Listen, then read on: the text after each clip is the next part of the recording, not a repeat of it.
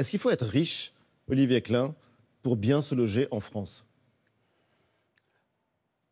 Je crois que pour euh, bien se loger, peut-être qu'il faut être euh, riche, mais je crois que pour se loger, euh, heureusement, on est en France et on peut trouver un logement parce parce qu'on a un modèle de logement social de grande qualité, parce que quand on a un accident de, de la vie, heureusement, et Pascal Brice y reviendra, on a de l'hébergement d'urgence. Euh, mais oui, il ne faut pas euh, euh, se cacher la vérité. Aujourd'hui, le logement est en crise. C'est difficile d'avoir un crédit quand on veut acheter un logement. C'est difficile de trouver du logement social parce que on n'en a pas construit assez ces dernières années. Donc, il y a plus de 2 millions de ménages qui attendent un logement social aujourd'hui en France. Oui, alors sur ces 2 millions, il y en a qui sont logés, heureusement. Bien sûr. Toutes ces, toutes ces personnes-là ne sont pas sans logement. Mais il y a des personnes qui sont mal logées, il y a des personnes qui ont des logements trop petits, il y a des jeunes qui ont du mal à décohabiter. Et c'est euh, le sens de mon action. Vous l'avez rappelé, euh, j'étais maire de, Clichy-sous-Bois. La, la crise du logement, je ne l'ai pas découvert. Euh, pendant plus de dix ans, j'ai vu des Clichois prendre rendez-vous avec le maire. Et depuis 25 ans, je suis élu local. 99% de mes rendez-vous étaient liés à une demande de logement. Et le 1% qui reste, c'était des gens qui, à la fin, disaient Au fait, monsieur le maire, j'ai oublié de vous parler de mon problème de logement. Donc oui, c'est une crise, elle est réelle. Euh, je me suis écouté il y a quelques jours euh, euh, à France Culture en 2017 et je disais déjà à Clichy par exemple, si on respecte le temps d'attribution, il faut 100 ans pour que les plus de 3000 demandeurs de logement social à Clichy trouvent un logement. Donc oui, c'est pour ça qu'il faut se mobiliser. C'est pour ça que le Conseil national de la refondation dont on, on, travaille tous. Beaucoup des gens qu'on a vus dans votre reportage sont membres du Conseil national de refondation. Pascal Brice travaille aussi euh, euh, à, nos côtés. On, sait cette urgence et on veut euh, trouver des solutions. Qu'est-ce que vous attendez des annonces de la Première ministre lundi, Pascal Brice? Un sursaut. Un sursaut? Un sursaut parce que c'est quand même, on l'a dit, vous l'avez dit, c'est un élément central de nos vies, hein, le logement. et on est dans une situation qui, alors, qui ne date pas d'aujourd'hui, ça fait dix ans que c'est difficile, mais qui s'aggrave sans cesse. Euh, qui maintenant ne touche plus seulement la, région parisienne ou les grandes villes. Moi, j'étais surpris par exemple à Vierzon récemment. Je rencontre une dame qui est dans l'une de nos structures qui me dit ça fait des mois que j'attends un logement. Euh, un logement social, et qui touche de plus en plus, évidemment, d'abord les personnes en précarité, à la rue, que nos associations accompagnent ou tentent d'accompagner vers le logement, mais aussi de plus en plus des personnes qui, là, subissent euh, l'inflation, la détérioration de la situation euh, euh, de, leurs revenus. Et donc là, ce que nous attendons, c'est vraiment un sursaut. C'est-à-dire que le gouvernement... Un sursaut, qu'est-ce que ça veut dire? Parce que, Olivier Klein, vous avez dit il faut réconcilier la France avec l'acte de construire réconcilier la France avec l'acte de construire. On est un pays extrêmement développé. Quand on dit euh, le bâtiment va tout va, euh, comment se fait-il qu'on bah ne construise pas assez de logements en France et que, comme vous l'avez dit, ça fait des décennies que ça dure? C'est une responsabilité extrêmement partagée. Alors on peut dire qu'il faut euh, un sursaut du gouvernement, mais moi je crois qu'il faut un sursaut de tout le monde. C'est l'esprit du Conseil national de la refondation du logement, souhaité par le président de la République et la Première ministre. C'est faire cette union sacrée pour que chacun ait envie de construire. Aujourd'hui, on le voit, euh, vous savez, euh, quand le logement va, tout va, mais on dit aussi euh, mère bâtisseur, mère battue. Donc on a eu cette... cette mère bâtisseur Mère battue. M-A-I-R-E hmm. Oui, oui. M-A-I-R-E. Le maire, oui, le maire d'une collectivité. Parce qu'aujourd'hui, quand on est maire, on a cette schizophrénie de, gens qui viennent nous demander un logement et, et, des gens qui en même temps nous disent pas à côté de chez moi, ne construisez pas le petit immeuble juste à côté de chez moi. Et donc il faut réconcilier tout le monde sur cette capacité à construire, arrêter parfois d'agiter le logement social comme un épouvantail, comme on l'a trop souvent fait. Vous savez, moi je suis un farouche défenseur euh, de la loi de solidarité euh, urbaine, la loi SRU qui oblige euh, les maires à respecter les quotas de logements sociaux. Je suis un farouche défenseur de la mixité sociale. Donc oui, l'État doit prendre ses responsabilités, mais on doit tous prendre nos responsabilités, construire partout et pour tous. Vous avez l'air dubitatif.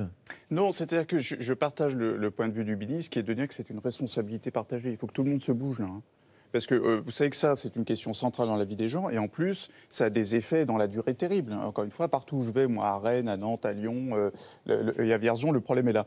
Mais, euh, et donc, c'est d'abord la responsabilité, c'est aussi la responsabilité des, maires, des élus locaux. Oui. mais l'État a dans bah, Certains d'entre eux préfèrent payer des amendes.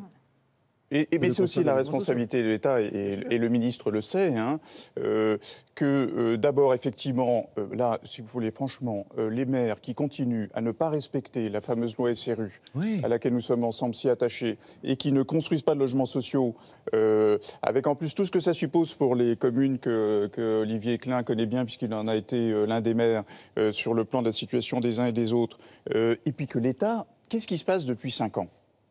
Depuis cinq ans, l'État nous a dit, et le, le- le- ce gouvernement, cet exécutif nous a dit, bon, il y a trop d'argent dans le secteur, Euh, du coup, ça crée des rentes.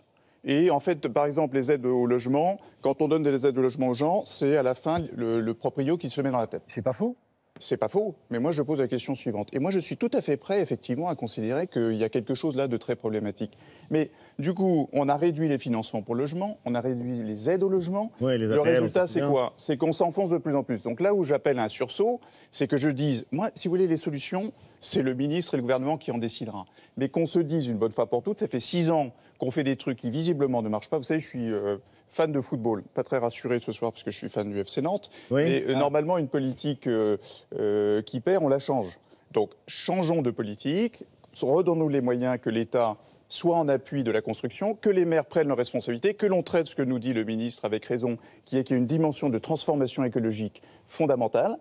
euh, à la fois à travers la rénovation, et puis c'est vrai que construire à l'heure actuelle par rapport à la densité urbaine, c'est des questions, mais ça, moi, je vous le dis une chose, les personnes à la rue, Oui. les personnes en hébergement, les personnes qui attendent des mois et des mois, si ce n'est des années, du logement social, ils se fichent de savoir si c'est les maires ou l'État qui sont responsables. Et donc, moi, j'en appelle à ce que les uns et les autres prennent leurs responsabilités. Je sais que le ministre y travaille, mais pour nous, bah, euh, il n'y a qu'une seule chose qui compte, hein, c'est lundi les décisions qui sont prises.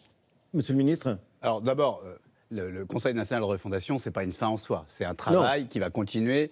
Euh, il y aura des, des propositions parce qu'il y a à la fois le CNR qui a été lancé en novembre euh, par décision du, du président de la République et de la première ministre.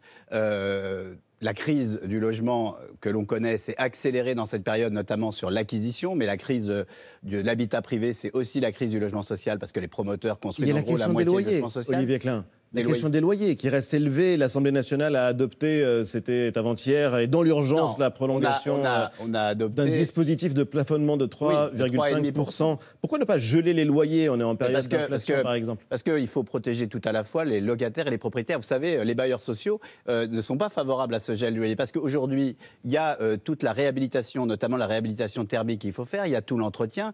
Donc il fallait trouver quelque chose d'équilibré. Si on n'avait rien fait, euh, les locataires auraient pu subir une augmentation de loyer de plus de 6%.